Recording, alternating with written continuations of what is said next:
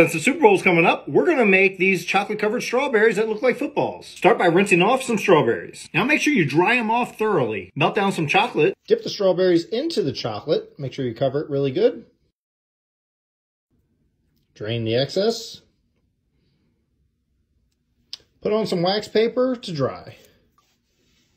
Now with some melted white chocolate, we're going to draw the strings of the football. The laces, I should say. Now time for the taste test. Mmm. I love chocolate covered strawberries.